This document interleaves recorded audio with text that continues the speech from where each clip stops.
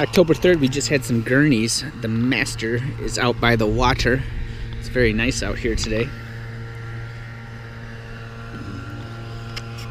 Karen, do you have any words for the movie? Gurney's is so good.